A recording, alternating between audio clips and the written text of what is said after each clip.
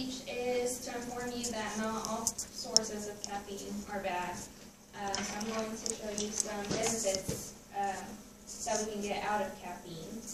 Um, so, I mean, who here, you know, wakes up every morning without any help?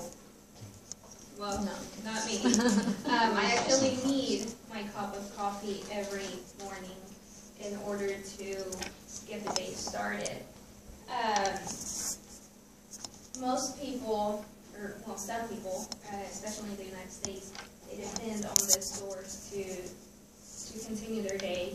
Especially, you know, a lot of us go to school, have full-time jobs, you know, have to go home, cook meals, uh, do homework, all that stuff. So, um, you know, caffeine obviously is a stimulant that activates the brain that is responsible for alertness. Uh, it is observed uh, rapidly uh, and distributed throughout the body within the first hour that you consume it.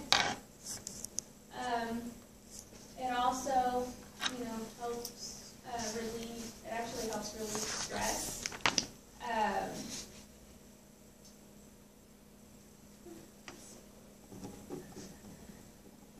um, coffee, uh, one cup of coffee is about 250 milligrams.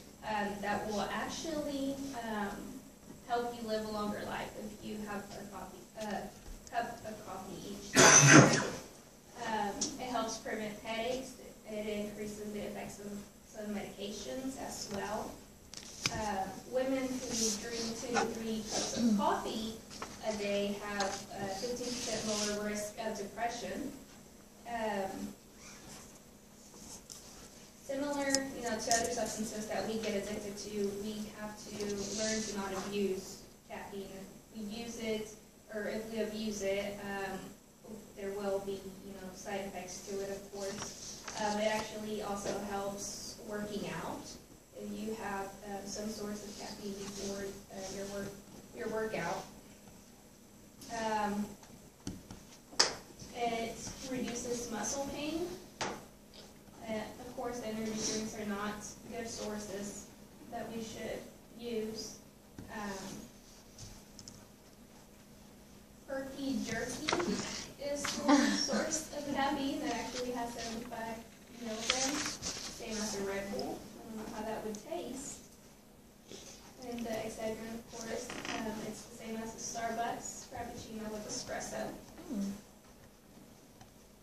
And side effects are, you know, uh, you get shaky. Um, I guess that's you first start taking caffeine. Once you get used to it, that kind of goes away. Um, it is harder to, to go to sleep. Uh, but, I mean, if you have to pull an all-nighter, it's obviously going to help you stay awake. Um, it raises blood pressure. Um, it causes headaches if you abuse it. Um, you'll get dehydrated. And then the health risks, um, if you have heart problems, then you obviously you shouldn't be drinking it because it causes anxiety. And if you uh, abuse it or you drink too much of it, it could actually uh, end up killing you. If you become addicted, um, you should um, you should give your body a break, but don't do it, you know, cold turkey. Do it step by step, maybe one to two weeks. Um, don't take any sources of caffeine, um, and then your body will adjust to it again. So when you start taking it again, then you won't need that much, uh, a big dose of caffeine in order to function. Are, of course, you know, headaches. Um, when it becomes severe, it could, uh, it could come to vomiting and nausea. And um, the first cup of coffee is actually the, so- uh, the first cup should be taken quickly, um, so it can get your body, um, it can give your body that boost of energy that you need, and throughout the day, just take small amounts.